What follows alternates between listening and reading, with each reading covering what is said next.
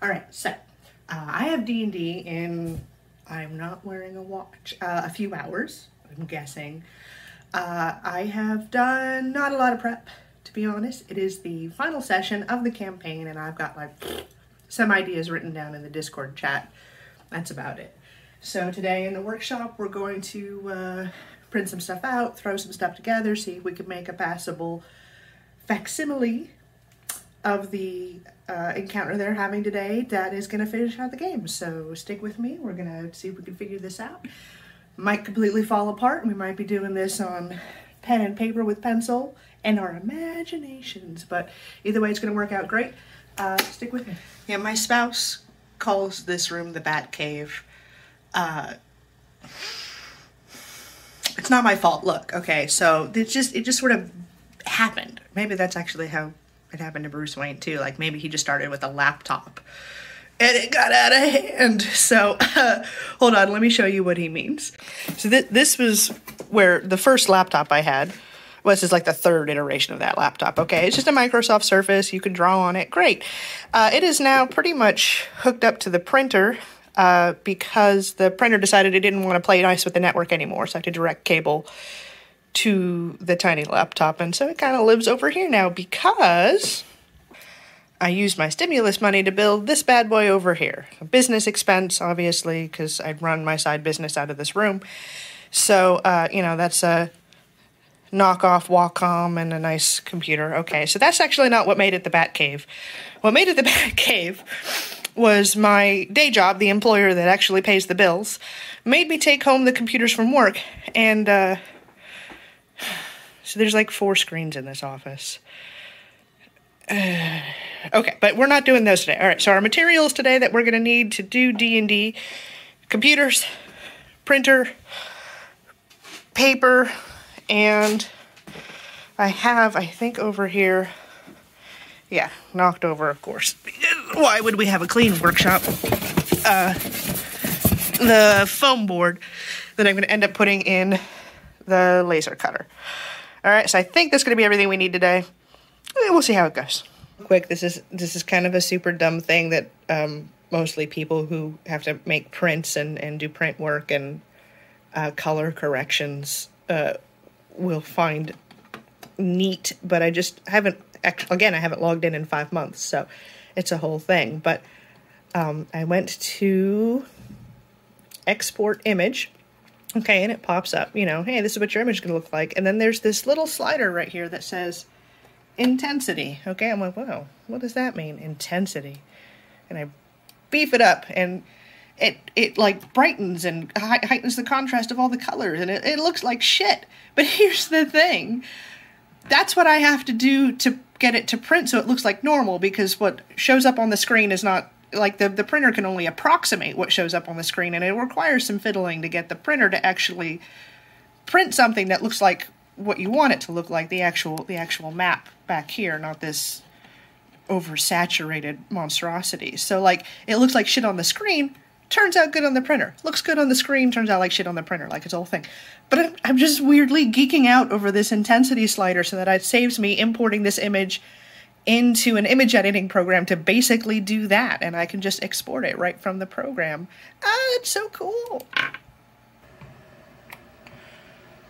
Uh, nor- normally making stuff for D&D, uh, I mean specifically printing out the maps is about a good hour of me hollering at, at the printer, but uh, a couple things happened. One, that Inkarnate setting meant I didn't have to do all this fussing and an illustration program, and apparently, uh, five months ago, Jaydot actually planned ahead and made this a lot easier to print out. So, uh, I, I'm, I'm not sure what to do with all this energy. I was ready to holler at the printer a bunch. So these are the maps, and they printed out beautifully. I, I mean, I'm seriously still kind of like in awe that it worked out so well. And again, as you can see, they are double sized. I do two inch squares um, which are I mean, literally a large size in terms of D&D, but because we're scaling everything up, that's how the mini. And what I do is, let me show you here.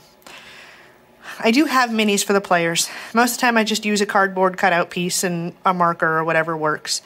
But I print the mini out uh, double size. I load it up into the resin printer, scale it up. This one is three kobolds in a trench coat. which is, of course, the DM at all times. And you can see they fit really nicely on a two inch grid map. So, um, this does limit, I'm not doing big sprawling dungeon crawl maps this way. Uh, I have done them. They are complicated when you're scaling up like this, but uh, honestly, most of the time, what happens with players is they cluster up around the bad guys and blanket beat. So, in that context, I find having the smaller area is actually really not that bad. It pretty much suits us just fine. So here we have a piece of black foam board. Now here's the, the biggest thing to note about foam board in the laser. One, it is a not sanctioned material, which means if I wreck my laser because I put foam board in it, that's on me. I don't I don't get a I don't get to use the warranty for that one. But I've done it before. It's really not a big deal. Uh, it doesn't smell amazing uh, because again it's a laser, and because this is basically plastic foam in the middle, that when the laser hits it, it melts. Not a lot, just a little. You just get kind of a little concave going in between the paper backing that's on the front and the back. Um, this mostly matters when you're building boxes and stuff that's edge to edge because, you know, your edges are melted inward and you need to account for that. But in this context, it'll be fine. So let's go ahead and put it in the laser. Okay. Okay. All right, the magic machine says it should cut out those circles in about five minutes, so we are going to Ah. Press the big button. It's gonna zoom and make a bunch of noise. Yay! No more video for that.